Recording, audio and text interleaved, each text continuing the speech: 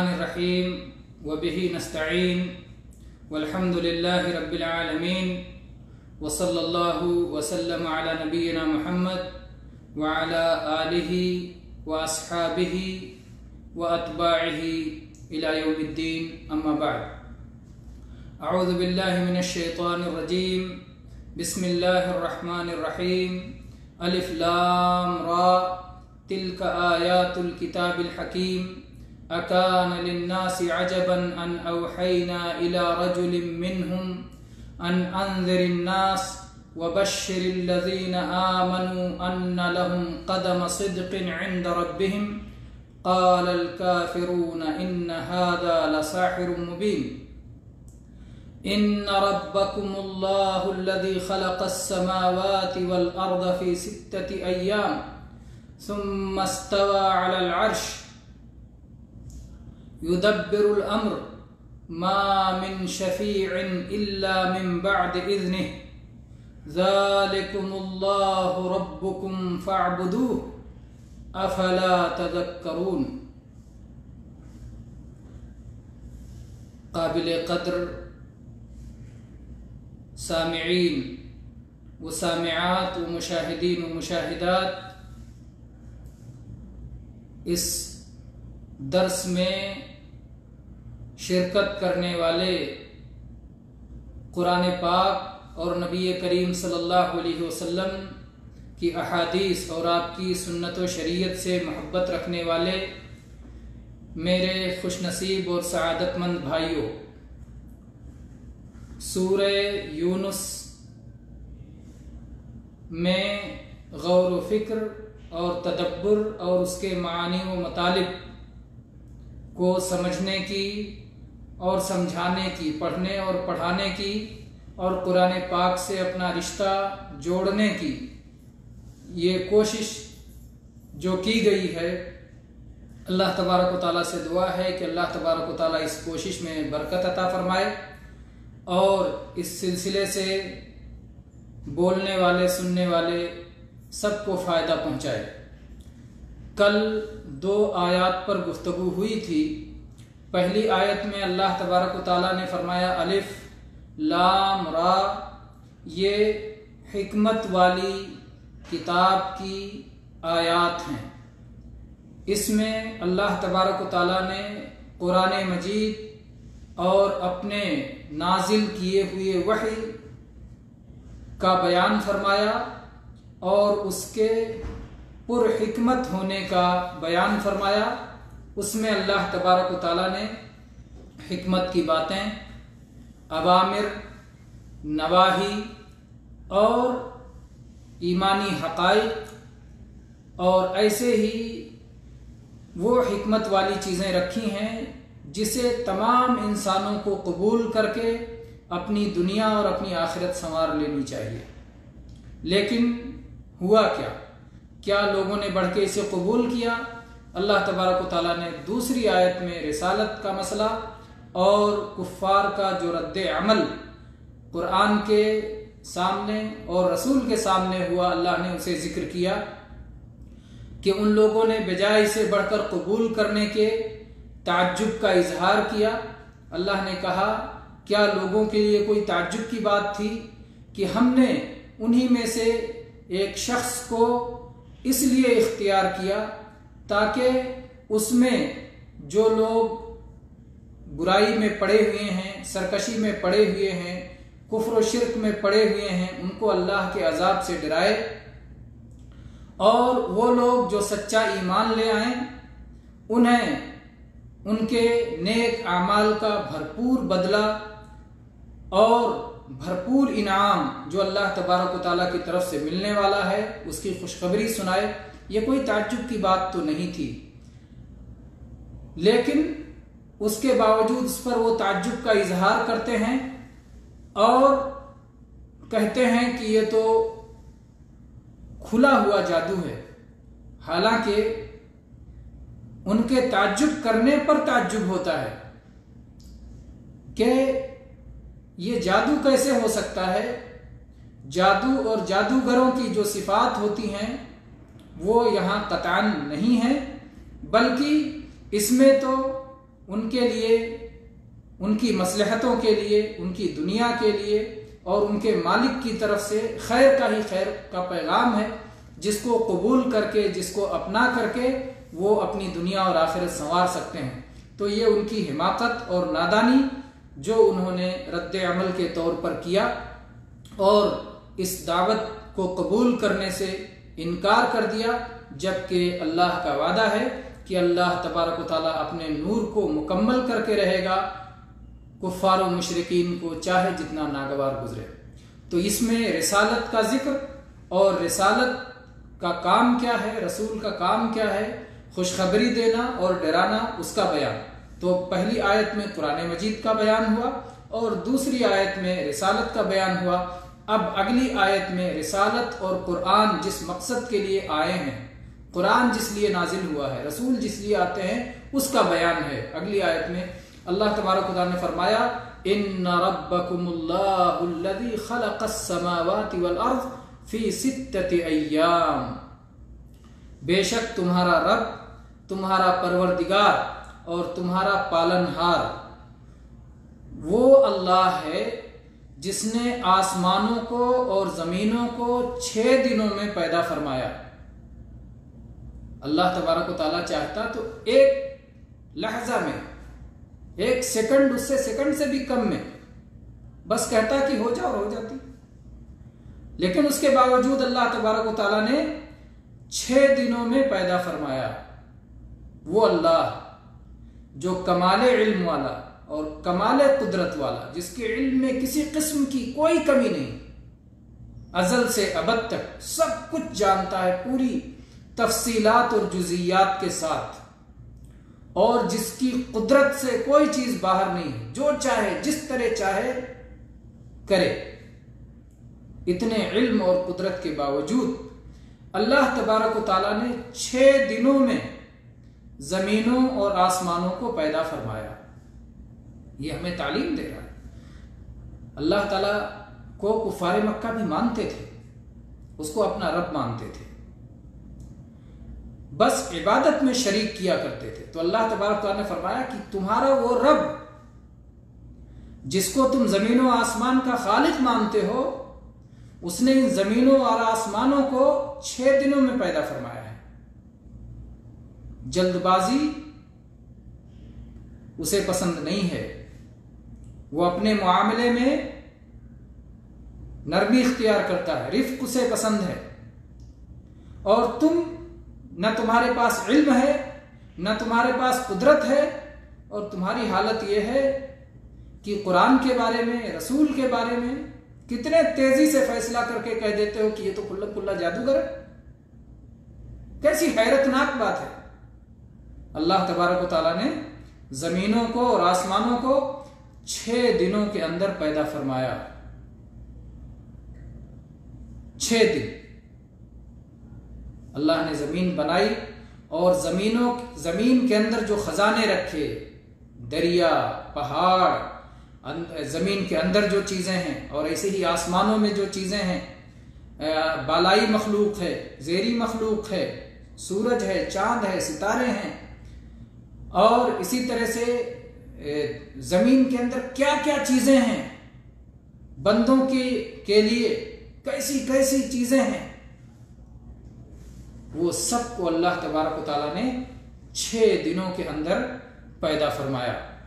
और उसके बाद में अल्लाह तबारक ताली ने फरमाया कि युदब्बिरुल अर्श। फिर अल्लाह तबारक ताली ज़मीन व आसमान की तख्लीक करने के बाद अपने अर्श पर इस्तेवा फरमाया। अपने अर्श पर कायम हुआ। अपने अर्श पर करार पकड़ा। अपने अर्श पर बुलंद हुआ। अर्श सबसे अजीम मखलूक है। मखलूक़ात में से सबसे अजीम मखलूक है।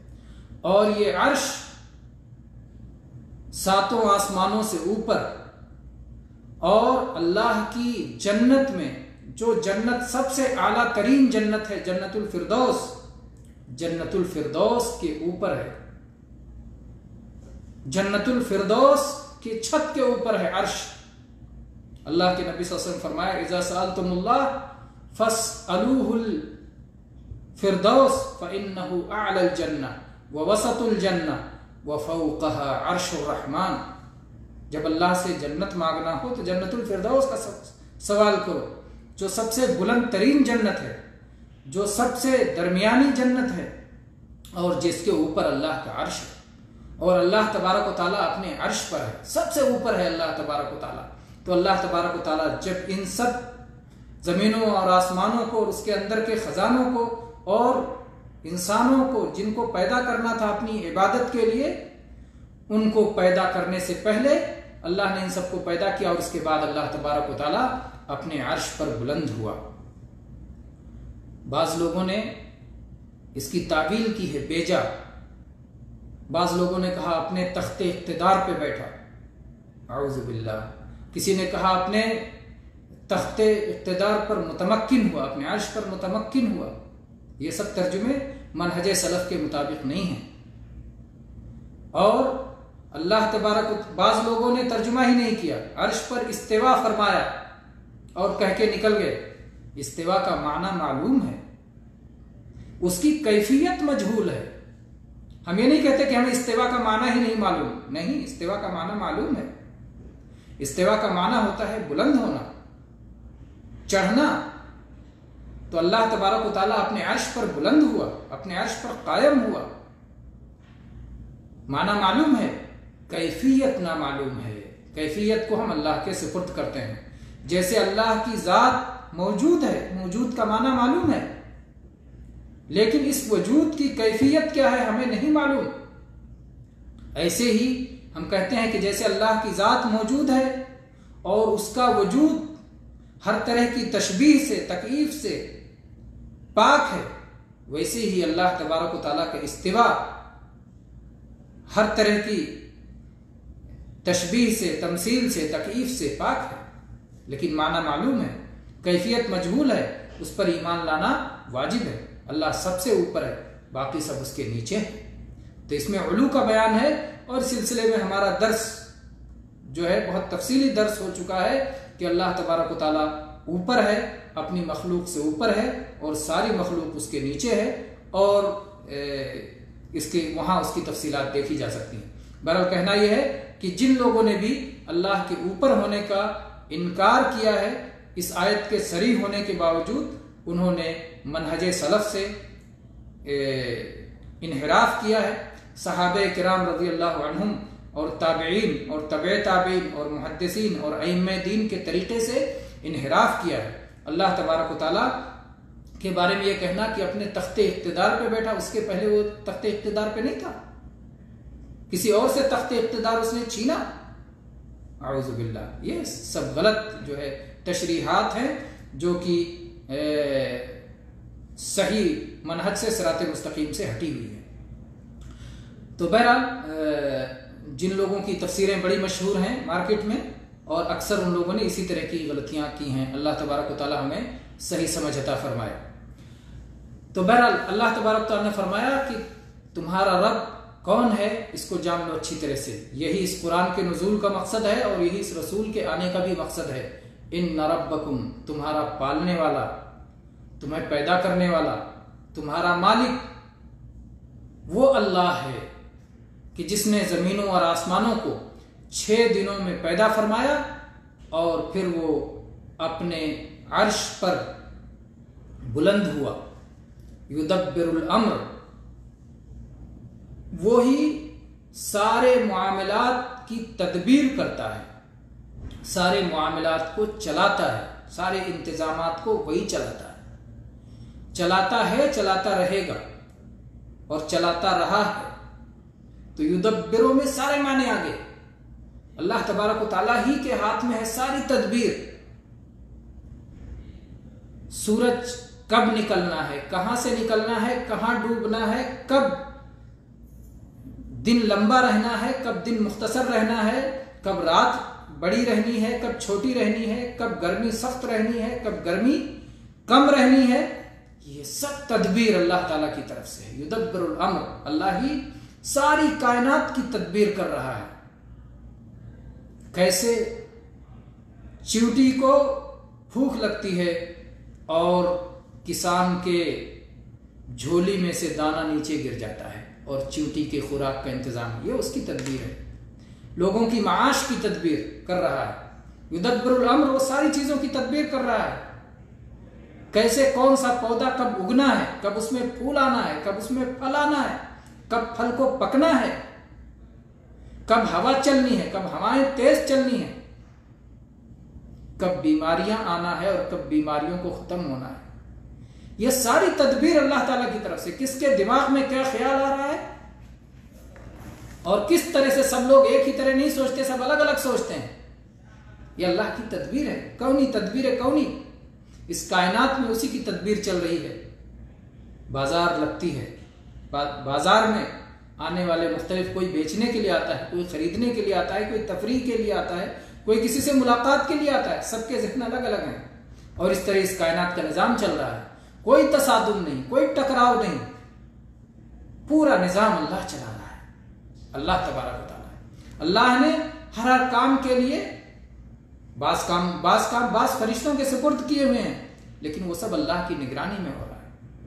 और अल्लाह को सबकी एक पत्ता भी गिरता है और एक जर्रा भी अपनी जगह से उड़ के दूसरी जगह उड़ता है, अल्लाह जानता है।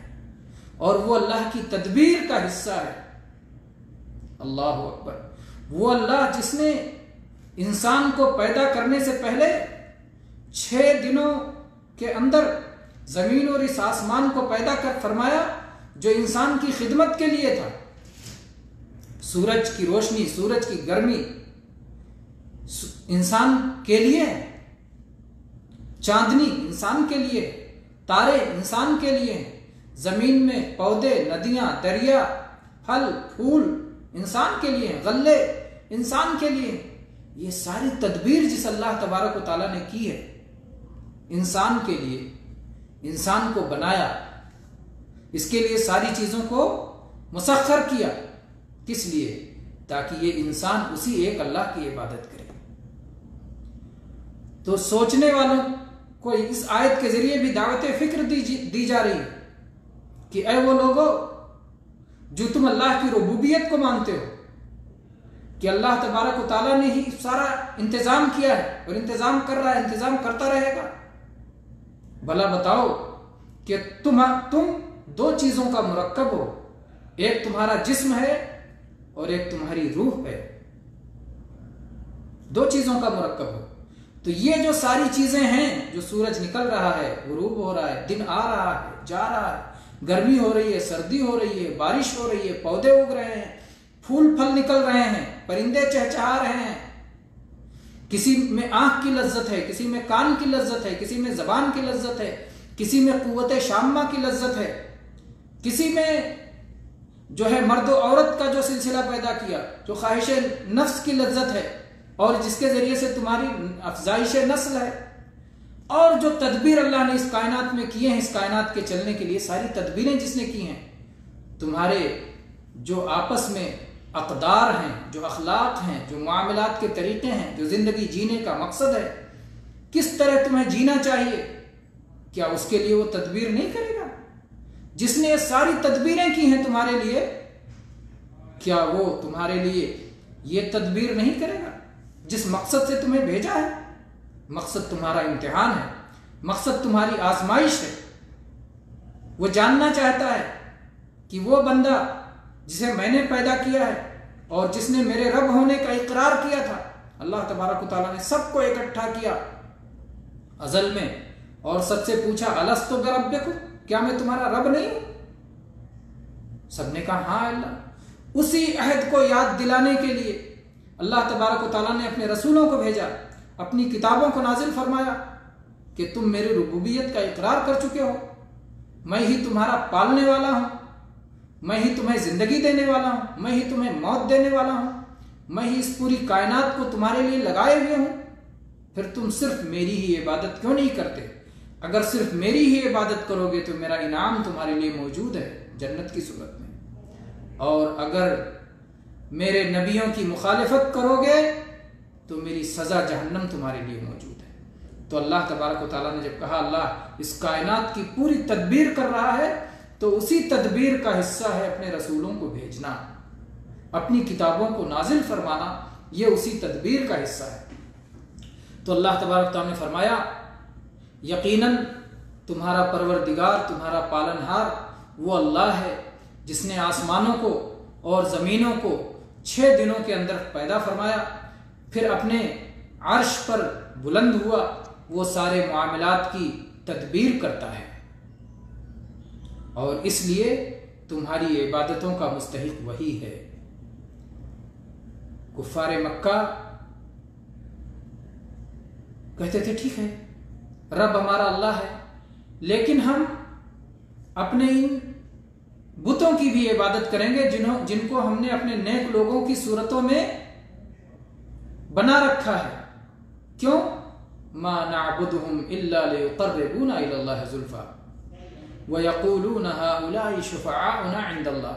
व कहते थे कि ये बुत जिन जो नेक लोगों की सूरतों पे हैं, जिनकी तारीख, जिनकी ज़िंदगी बड़ी अच्छी रही है, जो अल्लाह के बड़े नेक बंदे थे, ये अल्लाह के पास हमारी सिफारिश करेंगे।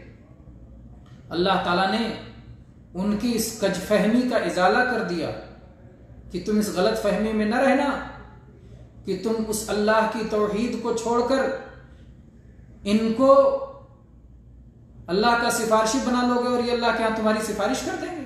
नहीं। अल्लाह तबारक ताला वो है कि हर तरह का इख्तियार, हर तरह की कुदरत उसके हाथ में है। कोई उसके यहाँ बढ़कर अपनी मर्ज़ी से सिफारिश भी नहीं कर सकता। मा मिन शफीन इल्ला मिन बाद इज्नि वहाँ कोई सिफारिश करने वाला नहीं होगा, मगर उसकी इजाज़त के बाद। अल्लाह इजाज़त देगा, तभी सिफारिश कर पाएँगे। कोई पहुँच के खुद बढ़ के सिफारिश कर ले, ऐसा नहीं होगा। कोई इस जाम में ना रहे कि कोई भी जाके वहाँ कैसे भी सिफारिश कर देगा। शफात का मसला कुरान पाक में बहुत ही वाज अंदाज में बयान कर दिया गया है। खोल खोल करके समझने वालों के लिए। अल्लाह तबारक ने बाज आयात में तो इनकार कर दिया कि क़यामत के दिन सिफारिश नहीं होगी। और बाज आयात में बताया कि इजाज़त के बाद सिफारिश होगी। तो जहाँ इनकार है, उसका मकसद यह है कि इजाज़त के बगैर सिफारिश नहीं होगी। और जहाँ इकरार है, उसका मतलब यह है इजाज़त के बाद सिफारिश होगी। और इजाज़त किस तरह से आप जानते हैं कि शफात के अरकान कितने हैं? एक तो होता है सिफारिश करने वाला, और एक वो होता है जिससे सिफारिश की जाए, और एक वो होता है जिसके लिए सिफारिश की जाए। और ये वो चीज़ होती है जिसकी खातिर सिफारिश की जाए। तो जहाँ तक वो जात है, जिससे सिफारिश किया जाना है, वो अल्लाह की जात है। और जहाँ तक ये मसला है कि सिफारिश करने वाले कौन होंगे? कोई भी पूरी मखलूक में कोई भी हो, सिफारिश करने वाला, चाहे फरिश्ते हों, चाहे अम्बिया और रसुल हों, चाहे अलिया हों, चाहे शहीद हों, कोई भी हो, जो भी सिफारिश करने वाले हों, ये सिफारिश करने वाले हुए। और वो लोग जिनकी खातिर सिफारिश की जाएगी, गुनहगार लोग गुनाह कबीरा करने वाले होंगे, या वो अल्लाह पर ईमान रखने वाले होंगे, या अल्लाह का कुफर करने वाले होंगे। अगर अल्लाह का कुफर करने वाले हैं तो उनके लिए तो सिफारिश की इजाज़त मिलने की कोई सूरत ही नहीं। अल्लाह तबारक ताला की इजाज़त के बाद ही सिफारिश की जा सकेगी, और अल्लाह तबारक ताला उन्हीं लोगों के लिए इजाज़त देगा, जो अल्लाह की तोहीद पर ईमान रखते हैं। चुनाचे रसूलुल्लाह से जब सवाल किया गया, अबू हुरैरा रज़ी अल्लाह ने पूछा, मन असादुन्ना से बेशफाती का या रसूलुल्लाह? अल्लाह के रसूल वसल्लम, आपकी सिफारिश पाने का हकदार सबसे ज़्यादा कौन खुश नसीब होगा? तो अल्लाह के नबी करीम वसल्लम ने फरमाया, मन काल ला जिसने ला का इकरार किया, अपने दिल के खलूस के साथ। ला का गोया माना समझा, उससे मोहब्बत की, उसके तकाज़ों पे अमल किया, उसके जो बरक्स और मुनाफी चीज़ें हैं, उनसे दूर रहा, शिरक से दूर रहा तोहहीद पे कायम रहा। और फिर उससे कुछ गुनाह हो गए। इंसान तभी बशर होने की वजह से, भले गुनाह कबीरा हो तो उसके लिए सिफारिश होगी। तो गुनाह कबीरा के मुरतकब अफराद के लिए सिफारिश होगी, और इसके ज़रिए से अल्लाह तबारक ताला उन लोगों को इज़्ज़त अता फरमाएगा जो सिफारिश करेंगे। सिफारिश करने वालों की इज़्ज़त अफजाई होगी। अल्लाह उन्हें माफ़ करना चाहता है क्योंकि वो अल्लाह के मुहिद बंदे हैं। अल्लाह पर ईमान लाने वाले बंदे हैं। लेकिन अल्लाह तबारक ताला माफ़ करने के लिए अपने उन नेक बंदों की इज़्ज़त अफजाई भी करना चाहता है। आप दुनिया की सिफारिशात को अपनी नज़र में रखें तो आखिरत की सिफारिश आपको समझ में आ जाएगी। दुनिया में तीन तरह की सिफारिश होती है। एक को कहते हैं शफात वजाहत, यानी मकाम मरतबे की वजह से सिफारिश। मिसाल के तौर पर मुजरिम को बादशाह के सामने लाया गया और बादशाह उसे सजा देना चाहता है, लेकिन कोई वज़ीर खड़ा हो जाता है कि, ए बादशाह इसे माफ़ किया जाए। मैं इसकी सिफारिश करता हूँ। बादशाह उसके मकाम मरतबे का ख्याल रखते हुए कि अगर इसकी सिफारिश न मानी गई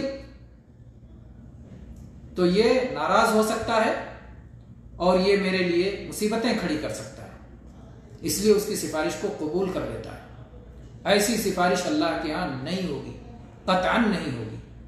अल्लाह के यहाँ किसी की यह हैसियत नहीं है, किसी की मजाल नहीं कि अल्लाह के सामने वो अपने मकाम मरतबे के ज़रिए अल्लाह की इजाज़त के बगैर कुछ कह सके और किसी अल्लाह की रजा के बगैर कुछ मनवा सके। दूसरी शफात होती है दुनिया में शफात मोहब्बत। यानी बादशाह के सामने मुजरिम लाया गया, बीवी खड़ी हो जाती है कि इसे छोड़ दो। बेटा खड़ा हो जाता है कि इसे छोड़ दो। बेटा या बीवी की मोहब्बत में गिरफ़्तार होकर उनको नाराज़ नहीं करना चाहता बादशाह। माफ़ कर देता, हालाँकि माफ़ नहीं करना चाहता था। मोहब्बत में मजबूर होके सिफारिश को कबूल कर लिया, अल्लाह तबारक के यहाँ ऐसी सिफारिश भी नहीं होगी। तीसरी सिफारिश दुनिया में होती है शफात बिल इज्न। वो क्या है कि मुजरिम को लाया जाता है। वो बादशाह उसे माफ़ करना चाहता है, लेकिन कानून की इज़्ज़त भी रखना चाहता है। इसलिए अपने किसी वज़ीर को, किसी अहम शख्स को इजाज़त दे देता है कि जब दरबार लगेगा तो तुम इसकी सिफारिश कर देना और मैं इसे माफ़ कर दूँगा। क्योंकि ये मेरा बंदा है, मेरा आदमी है, ये मेरी बादशाही को पसंद करता है, मुझे बादशाह रखना चाहता है। तो दूसरे जराइम दूसरे गुनाह, दूसरी गलतियों को इस तरह से उस वज़ीर की भी इज़्ज़त अफजाई हो जाती है और गलती करने वाले की भी माफ़ी हो जाती है। यही सिफारिश क़यामत के दिन होगी। अल्लाह का वो बंदा जो अल्लाह को छोड़कर किसी और तरफ़ नहीं देखता था, उसकी तोहीद के मामले में किसी तरह से वो इधर उधर नहीं जाता था, किसी कमी को बर्दाश्त नहीं करता था। लेकिन दूसरे गुनाह उससे हो गए, दूसरी गलतियाँ उससे हो गई, गुनाह कबीरा हो गया उससे। अब अल्लाह तबारक ताला उस मुहिद बंदे को माफ़ करने के लिए अपने किसी भी नबी को, वली को, शहीद को, किसी को भी अल्लाह तबारक ताला इजाज़त देगा कि मेरे इस बंदे की सिफारिश कर और उनकी सिफारिश से फिर या तो जन्नत में उसके दर्जात बुलंद हो जाएँगे या जहन्नम में उसकी सज़ा ख़त्म हो जाएगी या सज़ा कम हो जाएगी। मुख्तलिफ़ किस्म की जो शफातें हैं, सारी शफातें इसी तरह की हैं जिसको शफात शफात बिल्ज़न कहा जाता है।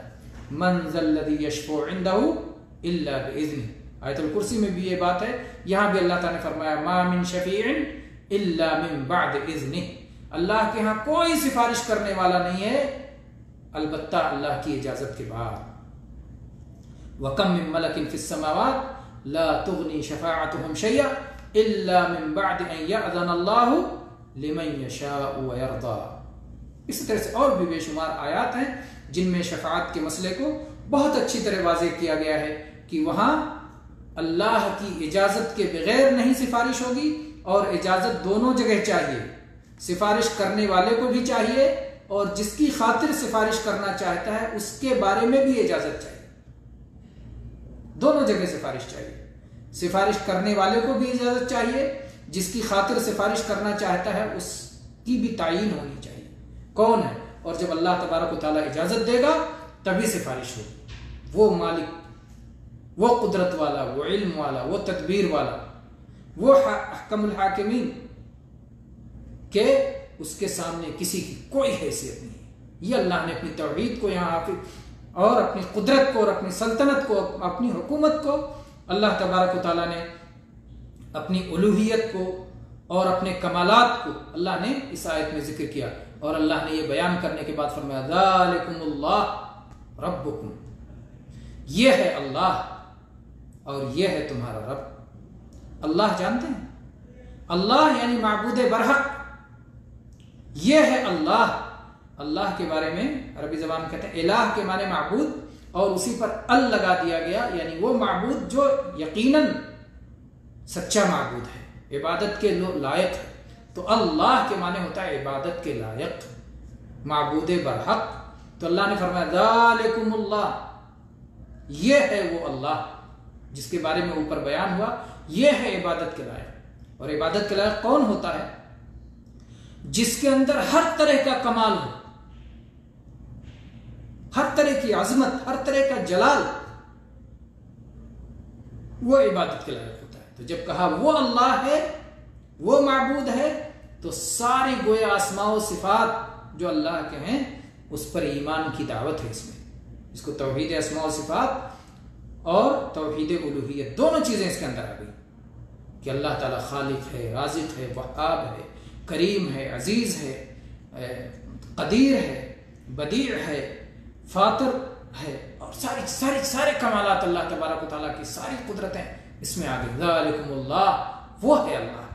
रबुकुम वो है तुम्हारा पालनहार। तो अल्लाह में तमाम सिफात कमाल, सिफात ज़ाती आ गए, जो अल्लाह के यहाँ मौजूद है। और रबुकुम वो तुम्हारा पालनहार है तो ये सारे सिफात अफ़ाल इसके अंदर आ गए। सिफात फ़ेल और सिफात ज़ात में फ़र्क क्या है?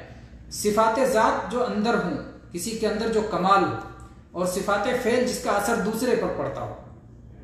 तो रबुकुम वो तुम्हारा पालनहार है, तुम्हें पाल रहा है, तुम्हारे ऊपर उसके एहसानात हैं, तुम्हें पैदा किया है, तुम्हें रिस्क दे रहा है, तुम्हारे लिए ज़मीन बनाई है, तुम्हारे लिए आसमान बनाया है।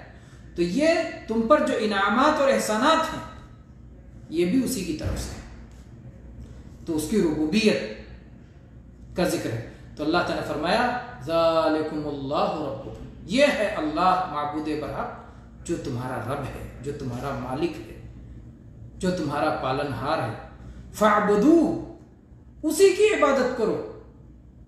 उसकी उलूहियत को तुमने समझ लिया, उसकी रबूबियत को तुमने देख लिया, उसके कमालात को तुमने देख लिया। अब फिर किसी और की इबादत करने लग जाते फ़ाबदू सिर्फ़ उसी की इबादत करो।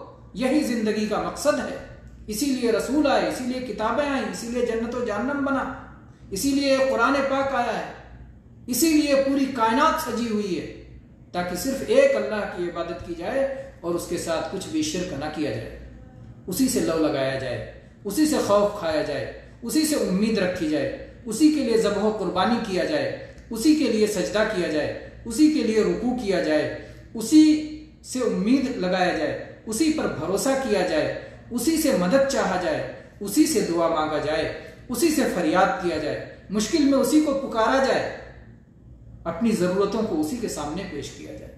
फाबदू उसी की इबादत करो, माल खर्च करो तो उसको राज़ी करने के लिए, सलाह पढ़ो तो उसको राज़ी करने के लिए, सौम रखो तो उसको राज़ी करने के लिए, हज करो तो उसको राज़ी करने के लिए। अपनी आजा से हाथ और पैर से कोई काम करो, उसको राज़ी करने के लिए। अपने दिल से कोई इबादत करो उसको राज़ी करने के लिए। अपने माल से कोई इबादत करो उसको राज़ी करने के लिए। फाबुदू सिर्फ़ उसी की इबादत करो, उसके अलावा और किसी की इबादत ना करो। उसके बाद अल्लाह ताला ने फरमाया, अफला तजक्करून, तुम ध्यान क्यों नहीं देते? तजक्करून ये ज़िक्र से है। ज़िक्र के माने याद।